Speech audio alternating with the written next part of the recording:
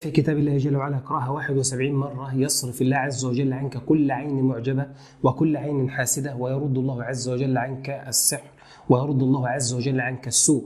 قال عنها الحسن البصري عجبت لمن أصاب بالسحر والحسد كيف غفل عن هذه الآية. أول حاجة عايزك أنك أنت تركز معي وتصلي على النبي صلى الله عليه وسلم. بعض الأشخاص ممكن ربما أن الأمور بتاعتهم تتعطل في التجارة وتتعطل في الحياة. فيبص يلاقي أن أي موضوع أنت متقدم ليه تلاقي إن الدنيا ماشية عكس ما أنت عايز بالظبط. فلو رحت تتقدم لفتاه وخلاص دخلت بيت أهلها والبنت أنت أعجبت بيها ترفضك. ولو أنت ما أعجبتش بيها توافق عليك فتبص تلاقي الحيرة اللي أنت موجود فيها ديت. ده سببه السحر يا أستاذ الكريم. لو أنت مثلا موضوعك مع زوجك إن في نفور وشد وجزر مفيش بينكم وبين بعض أي توافق نهائيا. حتى إن أنتم لما تكونوا قاعدين مع بعض تبصوا تلاقوا إن في كتمة وتقلع على صدركم. ده أيضا عبارة عن حسد. فالآية دي إن شاء الرحمن تعالج الأمر ده.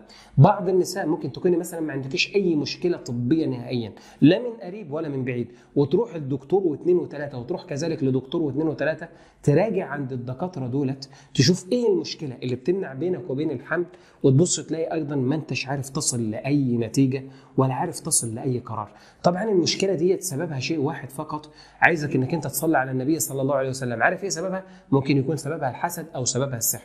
والآية اللي معانا بتقضي على هذه إيه الظاهرة ان من السحر والحسد. وعلى سبيل المثال لو حياتك كلها ملخبطة وتبص تلاقي إن في انتكاسات وضيق في الصدر الناس اللي بتعاني من الألام في الرأس بسبب الصداع وبسبب الشقيقة ربما إن يكون اللي موجود عندكم عين. فلو مشينا على البرنامج ده هنلاقي شفاء رباني من الله جل وعلا. فربنا سبحانه وتعالى هيسخر ليك من يخرجك من هذه الأضرار. فالله عز وجل هو الكريم. وعبد الله بن مسعود رضي الله عنه كان يقول فما ظنكم برب العالمين؟ يقول لو أن أحد موقنا بالله جل وعلا وقرأ آخر آيتين من سورة المؤمنين على جبل وأراد أن يزيل من مكانه لزال هذا الجبل. فأنا عايزك أنك أنت يكون عندك يقين بالله جل وعلا ويكون عندك حسبان لله جل وعلا. ويكون عندك إرادة إن الله عز وجل هو الشافي وإن الله عز وجل هو المنعم عليك وأن الله عز وجل يدفع عنك كل سوء ويدفع عنك كل ضر. فأنا عايزك يا أخي الكريم تتأمل معي في القصة البسيطة اللي أنا هنقلها لك ديت. قبل ما أذكر لك الآية موسى بن عمران رضي الله صلى الله عليه وسلم وعلى نبينا أزكى الصلاة والسلام اشتكى من ألم موجود في معدته. فشكى لله جل وعلا إن عندي الام شديدة جدا في معدتي فأوحى الله عز وجل لموسى بن عمران قال له يا موسى اذهب إلى المكان إلى المكان كذا في مفازة كذا ستجد فيها عشبة فخذ هذه العشبة واستعملها فتبرأ بها بإذني. فذهب موسى بن عمران لهذه المفازة فوجد موسى بن عمران هذه العشبة فلما وجد موسى بن عمران هذه العشبة خدها واستعملها فذهب عنه المغص اللي كان موجود في بطنه. فرد ليه المغص مرة تانية؟ فراح يكرر هذه الفعلة. فاشتد عليه المغص أكثر وأكثر فتضرع لله جل وعلا وشكى له فقال الكريم سبحانه وتعالى سبحان الله سبحان الله.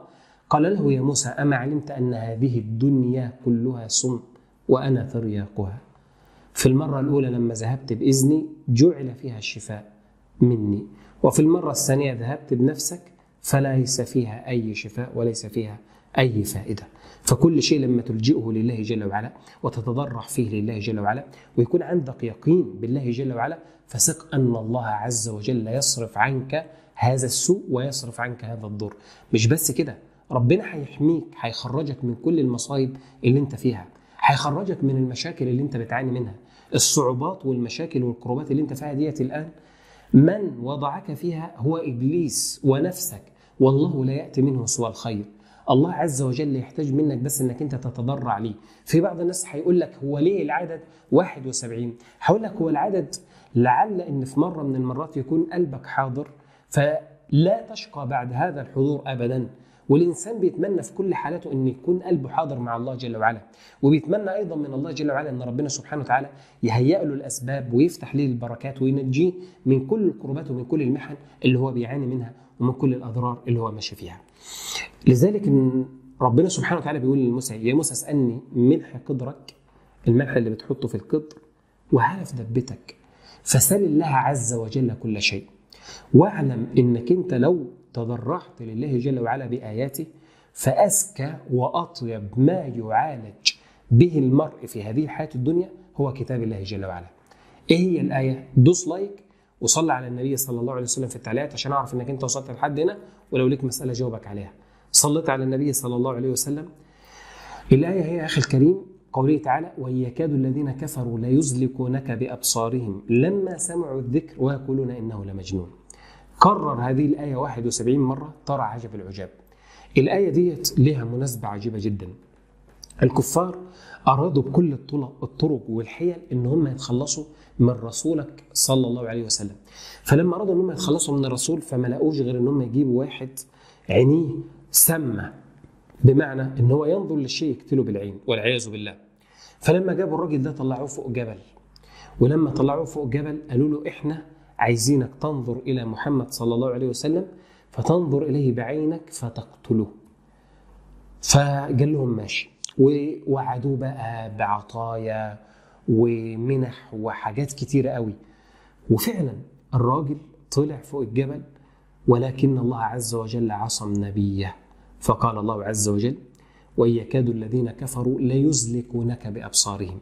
يعني يقتلوك بأعينهم. عشان كده الإنسان لما يكون شر ويكون في سوء ليك ويكون عينه يعني بتبص تلاقي في عينه كده تلاقيها مفتوحة كبيرة كده زي حاجة كده بتطلع شرار بمعنى أصح. فتستعذ بالله من شر هذا الشخص. فأنا عايزك إنك أنت تلجأ لله جل وعلا بكل ما أوتيت من قوة وعايزك إنك أنت تجعل الايه ديت قربانا لك عند الله جل وعلا وتتضرع بها لله جل وعلا. فأطيب ما يتضرع به الإنسان إلى الله جل وعلا هو كلامه.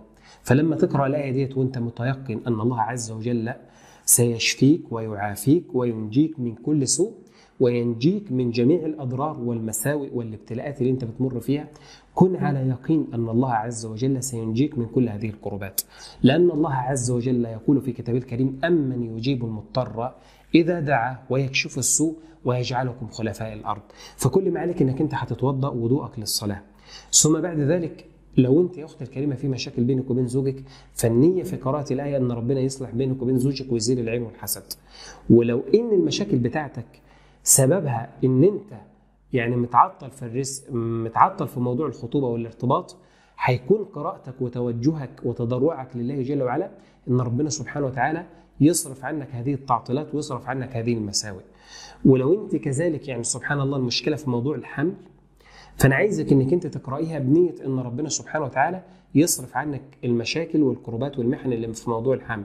ولو على الأولاد حسد أو عين برضه نقرأها بنفس النية. ونتضرع لله جل وعلا. هنصلي ركعتين لله جل وعلا على وضوء ونكون على وضوء ونتوجه ناحية القبلة. ثم نقرأ هذه الآية. نقول وأن يكاد الذين كفروا ويكون جنبنا كوباية مية نقرأ فيها. ويكاد الذين كفروا ليزلقونك بأبصارهم لما سمعوا الذكر ويقولون إنه لمجنون. اللهم اصرف عني عين العائنين وحسد الحاسدين وسحر الساحرين وحقد الحاقدين يا رب العالمين. اللهم صل على محمد. وأن يكاد الذين كفروا ليزلقونك بأبصارهم لما سمعوا الذكر ويقولون أنه لمجنون.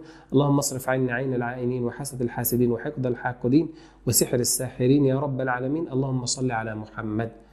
وبعدما تفترغ من قراءة هذه الآية تنفس في الماء وتمسح منه بس وشك. سبعة أيام ورا بعض تبص تلاقي إن العين اللي عندك اختفت نهائيا.